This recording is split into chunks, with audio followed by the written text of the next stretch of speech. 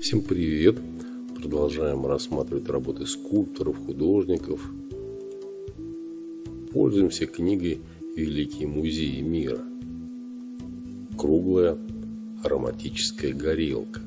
1250-1300 год.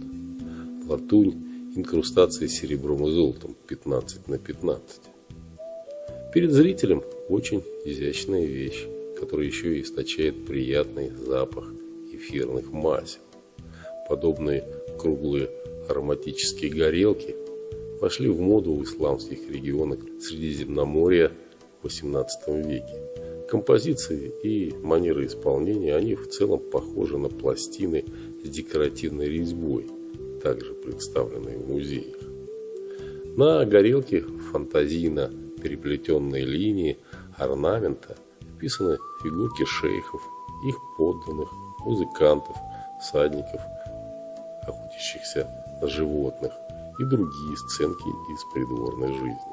Тонкости, сложности выделки и ювелирная изящность орнаментальных силуэтов, общее богатство задумки свидетельствует о том, что данный предмет принадлежал правителю.